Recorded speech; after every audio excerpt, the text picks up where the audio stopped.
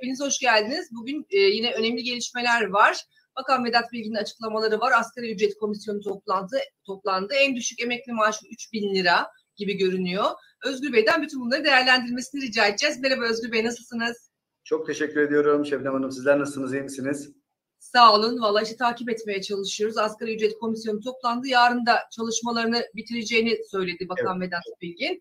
E, EYT ile ilgili yine gelen e, soruya e, başkanın sorusuna böyle bir işte hepsi masamızda var diye e, bir cevap verdi. E, en düşük emekli maaşı 3 bin lira gibi görünüyor dedik.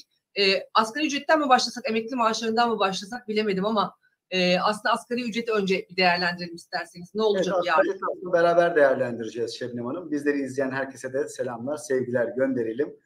E, YouTube kanalımızı çok kişi takip ediyor. Bizlere güveniyor. Ben herkese çok teşekkür ediyorum. Şimdi bugün birçok televizyon kanalına da zaten bağlandık. Bunu anlatmaya çalıştık ama kendi YouTube kanalımızda daha özel bilgiler de verebiliyoruz. Evet.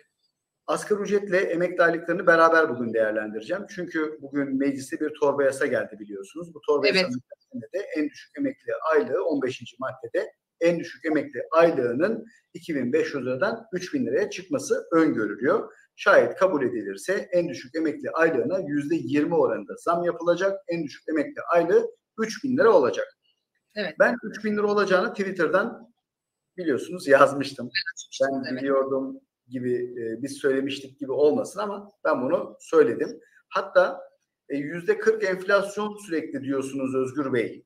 Neden yüzde 20 yanlış mı hesapladınız diye de altta böyle yorumlar vardı.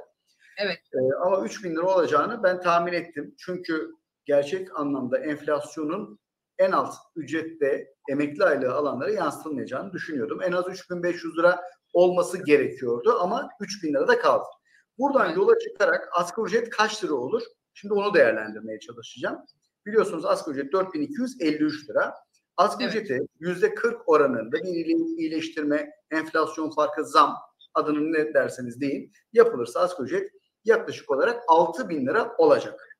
Ama evet. 6 bin lira olur mu? En son dün bu, e, dün metin yayınlandı torba yasa. Bugün de meclise gelen metinde en düşük emekli aylığına yüzde 20 zam oranını gördükten sonra asgari ücret 6 bin lira olmayabilir. Hmm. Yine yüzde 20 gibi bir artışta yapabilirler. Ama orada ben de canlı yayındaydım Sayın Bakan Vedat Bilgin'in açıklamaları esnasında. Çok net bir şekilde dinledim. Hatta notlarımı da aldım yayın esnasında. Sosyal devlet gereğini yapacak dedi. Aylıklar evet. sosyal devlet gereğini yapacak. Bizim de zaten hep anlattığımız konu sosyal devlet gereğini yapmalı. Asgari ücrete işverenler, esnaf bir miktar muhakkak zaten zam yapmalı, yapacaklardır da. Ama bunun yanında devlet de bir miktar destek vererek ücretleri biraz daha arttırmamız lazım. Şimdi ücretler artarsa enflasyon artar endişesi var. Ama evet.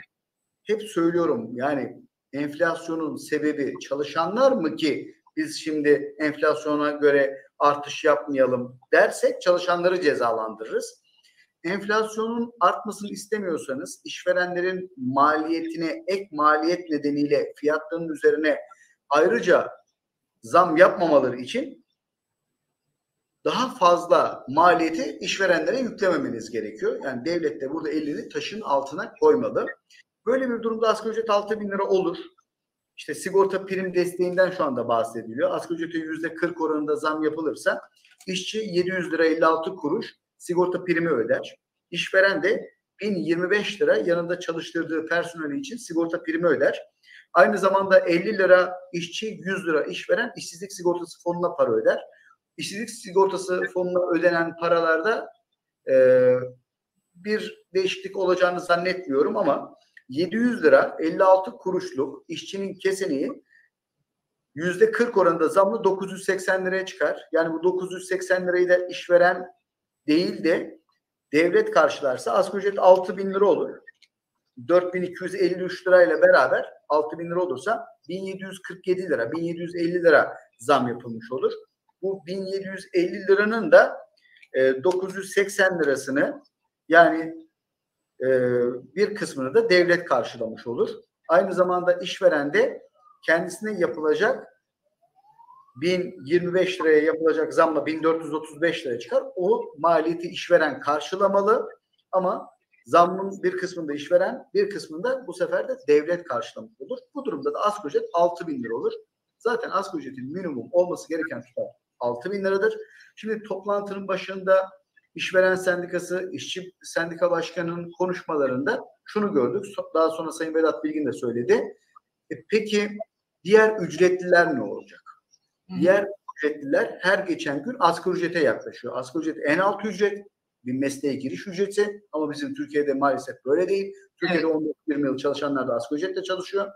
Düşünün bir firmada şu anda asgari ücret 4253 lira Şebnem Hanım. Bir kişi de 5000 lirayla çalışıyor.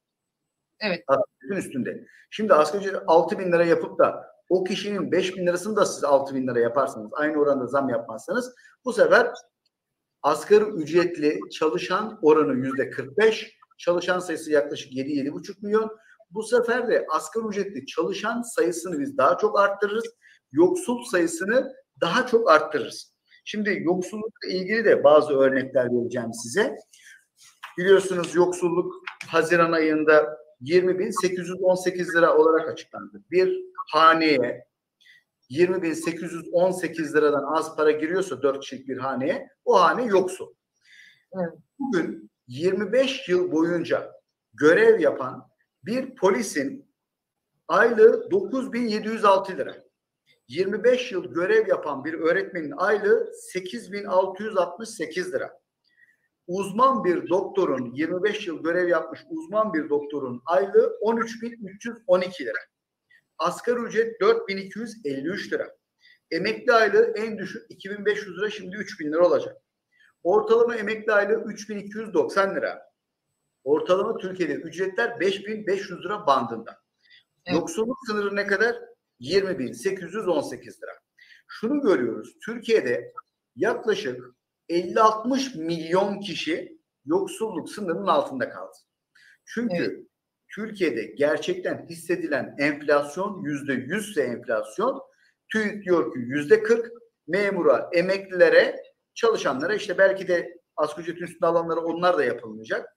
E, yüzde otuz, yüzde kırk oranında zamlar yapılacak ama enflasyon yüzde yüzün üstünde. Her geçen gün geçmiş programlarda biz bunu dile getiriyorduk. Bu bir ücret krizidir. Bu ücret krizinde gerçek enflasyon rakamlarını açıklamazsanız, gerçek anlamda enflasyon farklarını vermezseniz ülkede yoksul sayısını arttırırsınız. Şimdi evet. ülkede yoksul sayısının arttığını ben söylemiyorum. Yoksulluk sınırı söylüyor. Bir haneye 20.818 liradan az para giriyorsa o hanedekiler yoksul.